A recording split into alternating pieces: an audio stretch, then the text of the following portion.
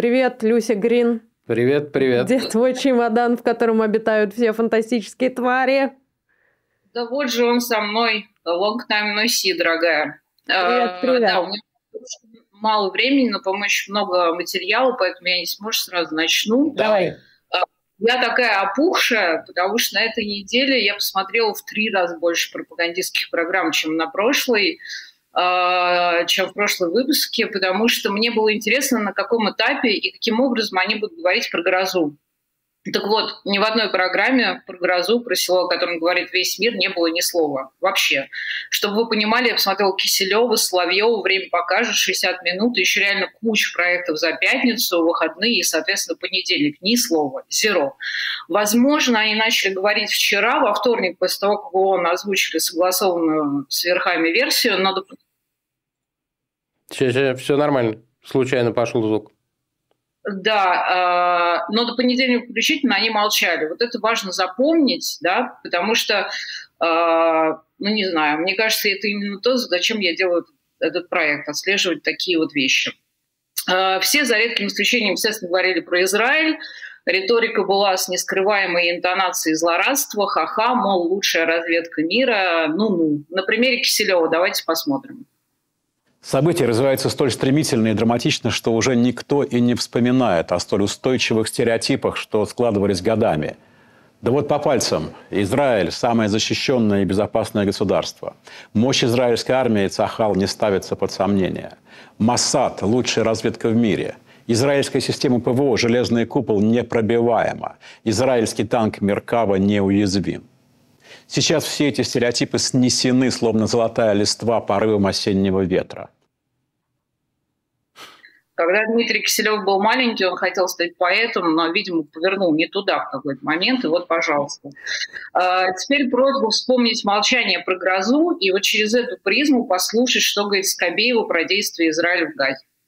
Прямо сейчас сектор газа ВВС Израиля равняют с землей по принципу «вот на кого упало, тот и террорист». Но главный вопрос сейчас, как вообще шахид-мобили и дельтапланы Хамаса обошли распиаренную систему ПВО «Железный купол», сожгли и захватили сразу несколько так называемых неуязвимых танков Меркава. Ясно одно, Масад со своей знаменитой контрразведкой, а также США, с ЦРУ и прочими разведуправлениями проморгали удар Хамаса. Это крупнейший провал Израиля в сфере безопасности 1973 года, но и скорой деэскалации, судя по всему, не предвидится. Ну, вот так, с трудом скрывая улыбку, говорить о трагедии, или как состоялось мое первое знакомство с Ольгой Скобеевой. Я реально ни, ни разу не видела ее. Вот это первый раз, когда у меня, например, фамилия синхронизирована была с картинкой. У Люси, у Люси продолжается медовый месяц российской пропаганды. Да. Она узнает это. А, значит, сейчас я вас попрошу о двух вещах. Я сейчас вам покажу видео и попрошу вас, во-первых, обратить внимание на реакцию второго гостя брюнета в очках, как он чуть не хрюкнул там от смеха, когда разговор зашел о гуманности русской армии. И второе, да, пожалуйста, не забывайте, что эта программа выходит через несколько дней после событий в Грозе. Покажите, пожалуйста, теперь. В этой связи нужно, конечно, подчеркнуть, э, насколько все-таки гуманно действуют наши э, войска, наше Министерство обороны, когда мы действительно работаем только по, э, по военным объектам. И никто вот этот, на самом деле, гуманизм нашей армии э, на Украине не отмечает. Ну и, наконец, наши, конечно, релаканты. Вот у меня большой вопрос – к тем, кто туда эвакуировался, не только знаковым там людям, людям хорошо, ладно, там Макаевич и Гайбенщиков люди пожилые, но Галкин там молодой, цветущий, полный сил, а, значит, наверняка должен записаться добровольцем, хотим увидеть, так сказать, с ним какое-то селфи. Вы видели, как он угорал просто открыто, этот второй? Я просто уже, честно говоря, хотела просить, чтобы вы меня не напрягали тем, чтобы я запоминала еще экспертов, как зовут. Не, не, не надо. Да, но вот этот в очках это просто прям вот ну, мой любимый теперь персонаж. А, Галкин, надо сказать, не пнул только ленивый. Вот такое впечатление, что им прислали, прислали разнарядку конкретно по поводу Галкина и сказали, вот если вы его пнете, нашему там приятно будет. И мне просто интересно теперь, кто так ненавидит Галкина в Кремле, потому что уехали тысячи человек, а докапываются только Галкину. Почему? Соловьев, естественно, исключением не стал. Смотрим. А ведь невольно то, что происходит в Израиле, перед э, нашей так называемой оппозицией ставит очень много вопросов. Вопрос первый. Они туда поехали, получили израильские паспорта. Они пойдут воевать за свою новую родину? Не дожидаться, пока их призовут? А вот они, вот все эти Галкины, Слепаковы, они же очень молодые ребята. Вот они пойдут воевать за Израиль? Обязаны по Конституции израильской. Вот у гражданки Собчак, у нее есть израильский паспорт? Показывали его. Но если показывали это правда, то она, наверное, должна явиться на призывный пункт. В израильской армии служат и мужчины, и женщины. Нет, ну просто это было бы порядочно, это было бы правильно. Ну да. А кто там ему подпел все время? Извините. Что, что, что? Это какой-то эксперт, которому мы договаривались не запоминать, Таня. А, понятно. Там просто кто-то ему постоянно под, поддакивает. Ну да. Нет, ну должны. Да, да. Они все на самом деле дико смешные и забавные, но с точки зрения того, что я все время говорю какую-то чушь. А, но их правда тысячи, Тань, я не Слушай, а вот про Соловьева я хотела задать вопрос. Он же такой э, человек, который постоянно прям вот тельняшку рвет на груди, какой он еврей. Он что-нибудь про Израиль э, говорил, что вообще там как бы Хамас террористы, ужас, кошмар? Или, или он только про Собчак смог из себя выдавить? Ты знаешь, они вообще, это очень смешная тема, хотела сказать это, об этом чуть попозже, но неважно. Они очень осторожно говорят слово террористы, точнее, они его не говорят. Они их называют по-всякому, вообще по-разному. Они говорят слово заложники, причем, но они не говорят слово террористы. Ну, понятно же, почему, по-моему, нет? Потому что Россия не признала Хамас террористической организацией. И дружит с Хамасом, более того. Да, они не могут сказать террористы, но они говорят слово заложники. Такие вот, знаешь, э, очень, э, как сказать, последовательные ребята у нас работают на телевидении. Заложники есть, террористов нет. Ну, такой фокус. А, в общем, да, я уже показывала раньше на этой неделе в обсуждении темы Израиля, преобладала интонация злорадства над израильскими мировыми службами. И у меня тут, ребята, есть вопрос. Я человек новенький, ничего не понимаю, объясните мне, как будто мне пять. Саша и Таня, в чем дело? Значит, все разведки профукали, а наши-то что?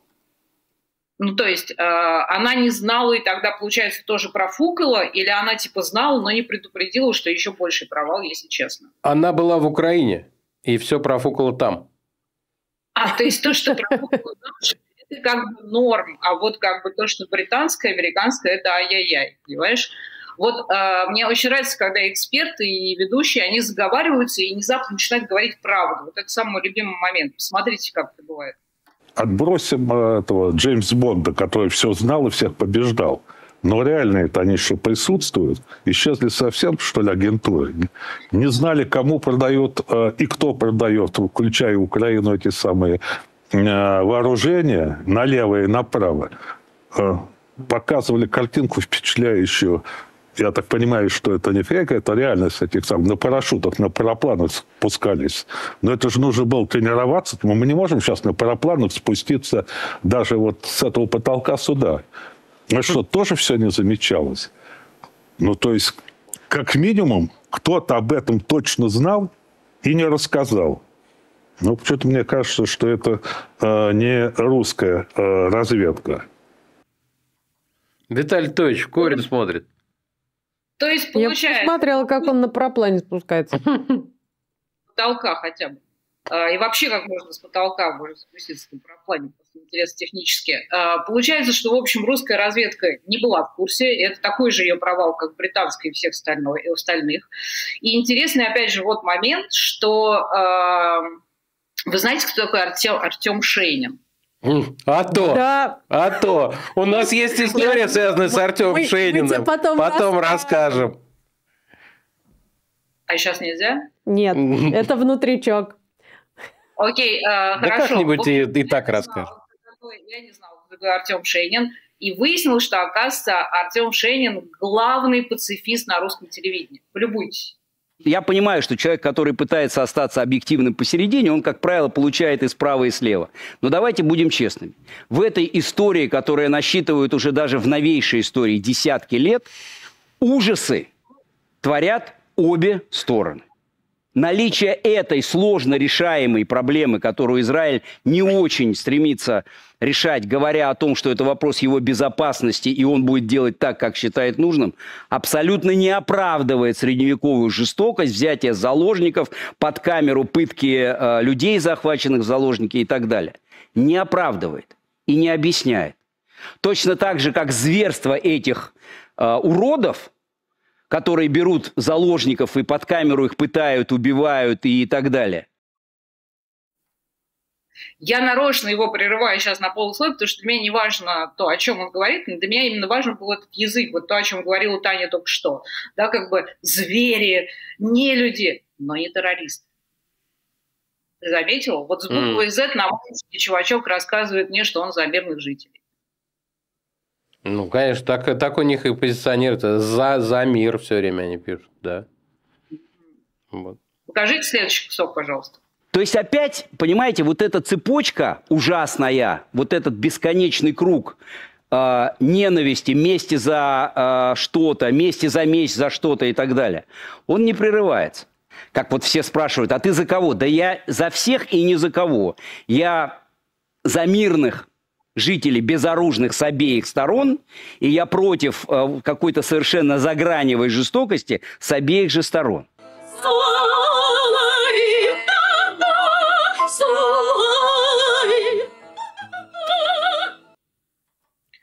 Я иногда, я иногда буду вырезки эти использовать из фильмов просто как снижение своего собственного гнева, потому что мне сейчас пришлось разразиться чем-то, а так я как бы вот, ну, потому что у меня, честно говоря, нет сил вообще. Мне самое страшное, мне кажется, что они все в какой-то момент придут ко мне во сне. Ладно. А, вам Люся, я буду тебе э, перед сном присылать э, фото и видео с котиками. Зачем мне прислать? У меня три котика живут здесь. Боже котиков, богу котиков. Котиками, что я больше еще не нужно. Вот, значит, следующая фраза, мне кажется, точно понравится Саша тебе и Таня тебе. Она звучит так. На этой неделе Путин опустился.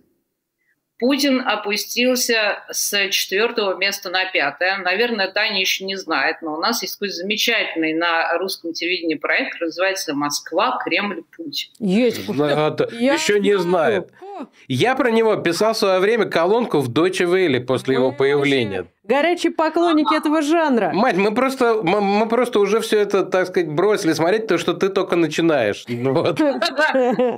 Ну, интересно, интересно путь алкоголика проследить, так сказать, уже не по своим. С ним, что Москва, Кремль, Путин, такой проект, который рассказывает нам о том, а, чем Путин занимался всю неделю. Проект выходит вечером в воскресенье. Так. Замечу, что программа «Кремль, Москва, Путин» стал вообще единственным пропагандистским проектом, который процитировал слова Пу про смерть Пригожина, которые он произнес на Валдае. Но именно только процитировали. Знаете, никакого комментария не было. Процитировали от до, галочку поставили, отчитались, пошли дальше. Висит в воздухе вопрос, а что случилось? Это Путин про катастрофу с самолетом Пригожина. В телах погибших при авиакатастрофе обнаружены фрагменты ручных гранат. Внешнего воздействия на самолет не было. Это уже установленный факт. Но следствие не завершено. К сожалению, наличие алкоголя или наркотических средств в крови погибших экспертиза не проводилась. Хотя мы знаем, что после известных событий в компании в Петербурге ФСБ обнаружило не только 10 миллиардов наличными, но и 5 килограмм кокаина. На мой взгляд, надо было бы провести такую экспертизу, но она не была проведена. Ну вот то что есть, я вам сказал. Я впервые обратил внимание на дерганный монтаж. Он э, меньше 7 секунд э, в кадре постоянно тын -тын -тын, и тебе кажется, что и слова должны дергаться, но они... А? Я тебе говорила в прошлый раз, что это особенности монтажа, это и так под Тарантино mm-hmm. косят. Ага. Да, да, да. Слушай, а, знаешь, извините, небольшой в топ просто мой любимый фрагмент из этой передачи, как они снимали установку и проверку букетов. Там что-то Путин должен был на 8 марта кого-то поздравлять или что-то такое. Так у них прям был реально пол сюжета про то, как приносят букет цветов, корзину цветов, как ее переставляют. И там вот тоже этот монтаж. И я смотрела такая, Господи, боже мой, почему? Не, а полное впечатление, что Путин все время поворачивается так малек. Тын-тын его бросает из стороны в сторону. Прием. Ну что вы не понимаете вообще ничего в кино? Окей. Вот я после этих слов про Пригожина, я, конечно, очень смеялась над ними долго. Я вообще даже подумала, что вот если бы Владимир Владимирович был бы диджеем, я бы ему посоветовала взять псевдоним диджей Палева. Такой хорошо звучащий, потому что, конечно, Странно, что у него так вокруг все запущено с кадрами, что ему никто не посоветовал так ярко себя не сдавать самому себе, потому что если раньше, может, у кого-то и были вопросы по поводу гибели Пригожина, оставались там наивные умы, то сейчас даже у них, думаю, все сомнения отпали.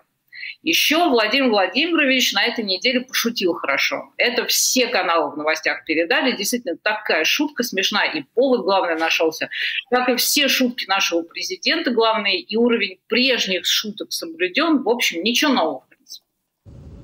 События вокруг Нагорного Карабаха. К тому моменту, пожалуй, самая горячая тема. Европа обвинила Россию в предательстве Армении. Чья бы кобыла мычала, а твоя бы молчала. Корова. Корова, кобыла, неважно. Животное, короче, какое. Этот файл у меня, кстати, назывался «Путин живот». А... У тебя передача так называется фантастическая тварь. Это даже в какой-то степени любя. Я, по-моему, поэтому его выбрала, потому что слово фантастические, они как бы снижают агрессию слова твари, получается, в общем, очень Ну и тварь это все-таки не мразь. Тварь это божья, с другой стороны, понимаешь? Да, да. Они для меня все, вот я прихожу в зоопарк и вижу в террариуме всех значит, этих людей, да. рассказываю про них. У меня телевизор это террариум. А, в этом выпуске Москва, Кремль, Путин ничего не было про Израиль, потому что за два дня ребята не успели сориентироваться, точнее, Путин не успел сориентироваться, и все выходные про Ближний Восток, я так понимаю, молчал. Ну и проект, которому посвящен, тоже молчал. Тем более, что важного материала для программы у них и так было хоть отбавляй. Например, Журналистам приходится переключаться в режим особого ускорения, ведь президенты меняли программу своей встречи прямо на ходу. Но как бы быстро все не было, организовать протоколу и пресс-службе нужно все идеально. Все, все, все, все, все, не трогайте. Но даже когда все готово и предусмотрено, бывает и такое. Небольшой листок с надписью где чье кресло буквально взлетел во время начала переговоров. Блин, смешнее было только про телохранителей Ким Чен Ына.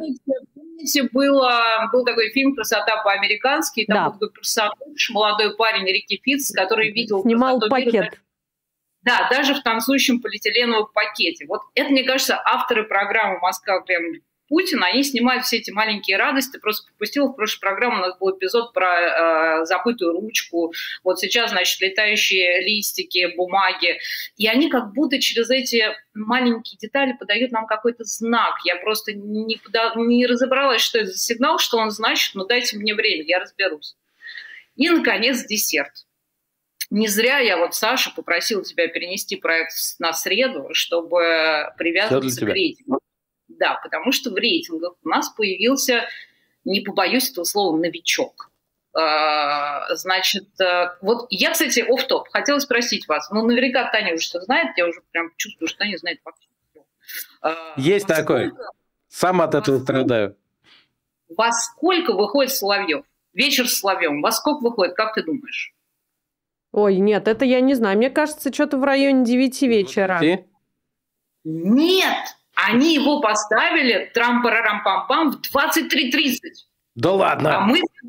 Да, я тебе говорю, я сама, я прям... Страна не спит, смотрит Соловьева. Ты понимаешь? Поэтому, возможно, у него такие маленькие рейтинги. В прошлый раз с тобой подхихикивали, да, как бы он на этой неделе, кстати, еще ниже, чем обычно, он начал на 33 Поэтому, возможно, у него такой маленький рейтинг. Но на, этом, на этой неделе нет, не поэтому. Сейчас я расскажу. На этой неделе, в понедельник, в Соловьевское э, время впервые на канале «Россия-1» стали показывать Бесогона. Обычно его транслировали только на «России-24», и важно, Михалков сразу стартовал на восьмом месте. Соловьев 33 на том же, на том же времени. Не, ну ты сравнила, сравнил народный артист, в общем, и какой-то э, паяц. То есть для тебя нормально, что он настолько... Ну хорошо, подожди секунду, у меня есть еще пара. Давай. В общем, странным образом темы Никита Сергеевич берет, вежливо говоря, старые. Ну вот, то есть, например... У него всегда так, да. Ну, надо же да? подумать. Да, да, а, это да, нормально. Это, Он у нас сначала так... так да, это, то есть лежалое, да. Я... Комментирует лежалое. В последней программе главная тема была отмена августовских э, гастролей Линтома. И я сначала дергалась, не понимала, может, я число перепутала, но мало ли что со мной не так. И вот Михалков с кривой антисемитской улыбочкой, называя Анатолия Белого по его настоящей фамилии Вайсман, переживает, значит, за еврейский народ, и вот как это выглядит. Почему? Зачем это сделал Анатолий Вайсман? Почему он не захотел, чтобы этот спектакль о еврейском народе был показан в Израиле? Потому что ему наплевать на этот народ. Господин Вайсман делает все, чтобы этого не было, потому что живет в нем самый большой грех – зависть и страх, что увидят, кто ты есть на самом деле. За что купил, зато продал. Еще Никита Сергеевич обсуждал выступление Урсулы фон дер Ляйен на Атлантическом совете, которое также, по-моему, состоялось в начале сентября. Но таким образом мы узнали, что у Никиты Сергеевича есть слабость. Одна, но есть шельмуется происходящее, как оно переворачивается. Послушайте, что говорит моя слабость, это белокурая ведьма Урсула фон дер Ляйен. Послушайте отрывок из ее выступления. Эта поездка дала отрезвляющий старт саммиту G7, который я никогда не забуду. Особенно сейчас, когда Россия угрожает вновь применить ядерное оружие. Представьте себе, чтобы вот то, что она сейчас сказала, было бы сказано бы 30 лет назад. Что это было в Хиросиме, что это было ужасно. И что сегодня это может повториться, потому что Россия вновь, слушайте, вновь угрожает применить ядерное оружие. Сука! Сейчас было неожиданно. Любви до ненависти, понимаешь? Вот это панчлайн.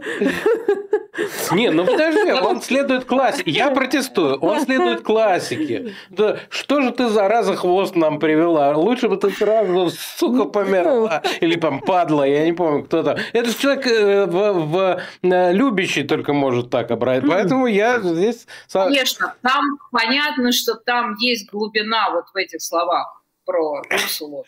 Я, в общем, посмотрела выступление Ляйн. Она, естественно, once again относила к угрозе ядерным оружием, а не к тому, что Россия once again его, значит, хочет э, применить.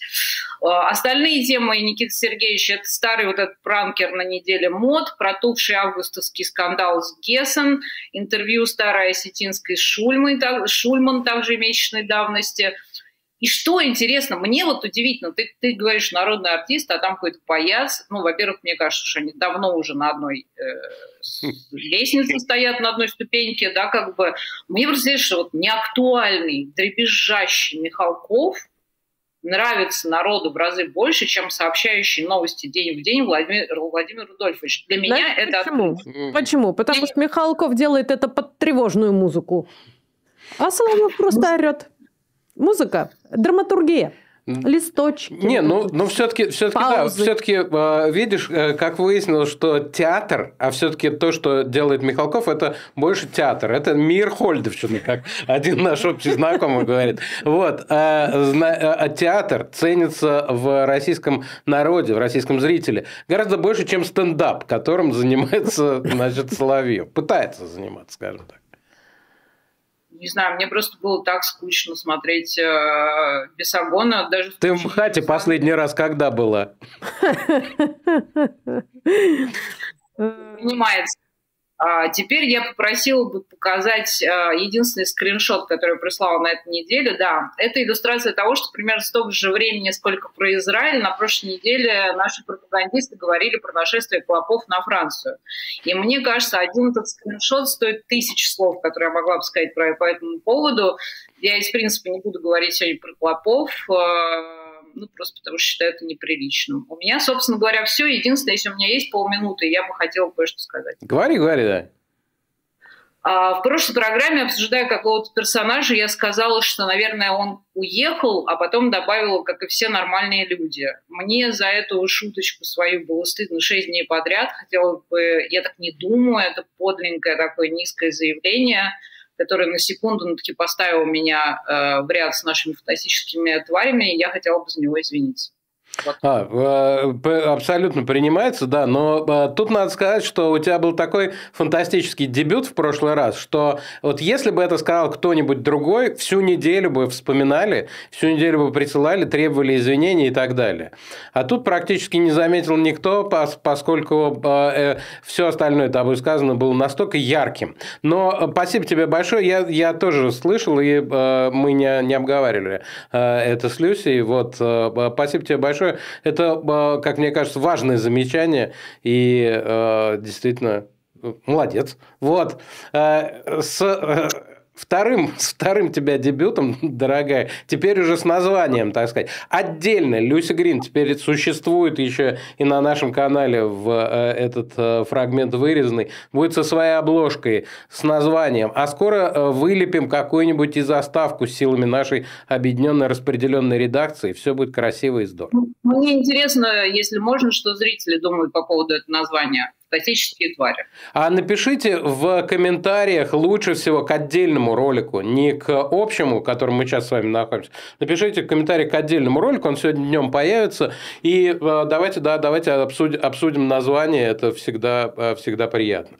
Спасибо большое, Люся Грин э, с нами была. Спасибо. Спасибо огромное, Люся Грин. Наши слова любви восхищения, а также обнимашки и пожелание скорее забыть все то, что она увидела. Детокс.